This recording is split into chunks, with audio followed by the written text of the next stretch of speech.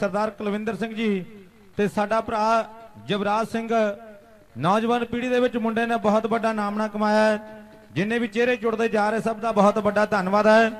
ਲਓ, ਛਿੰਝ ਮੇਲਾ ਜਿਹੜਾ ਖਾੜੇ ਦੇ ਵਿੱਚ ਆ ਗਿਆ ਹੈ, ਸਾਰੇ ਉਸਤਾਦ ਲੋਕਾਂ ਨੂੰ ਬੇਨਤੀ ਹੈ ਬਈ, ਆਓ ਆਪਾਂ ਬੈਠੀਏ। ਇੱਕ ਵਾਰ ਤਾੜੀ ਜ਼ੋਰਦਾਰ ਮਾਰ ਦਿਓ ਝੰਡਾ ਜੀ ਦਾ। ਛਿੰਝ ਮੇਲਾ ਜਿਹੜਾ ਵਿੱਚ ਆ ਗਿਆ ਖਾੜੇ ਦੇ।